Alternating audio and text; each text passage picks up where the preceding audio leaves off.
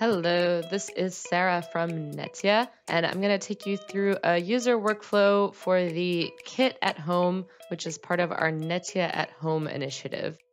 So, I am a journalist, let's say. I've received this installation package from my radio station uh, systems administrator.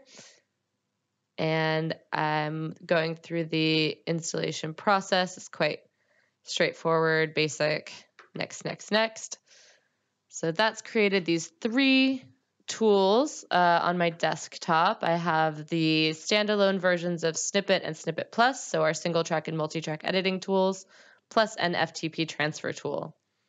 So I've opened my snippet.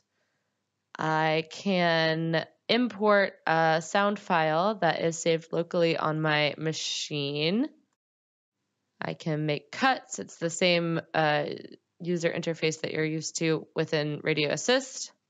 So let's say that is my cut that I want to, I'm satisfied with it. I want to send it to the radio station. So once I click the master button, uh, here's where we can see this new feature, which will allow you either by clicking no, just to save the sound file locally, or uh, if you click yes, you can upload it through uh, the FTP export module. So let's go ahead and try that. Yes. And I get this metadata uh, window where I can enter the mandatory fields, uh, in this case for a profile for a sports journalist.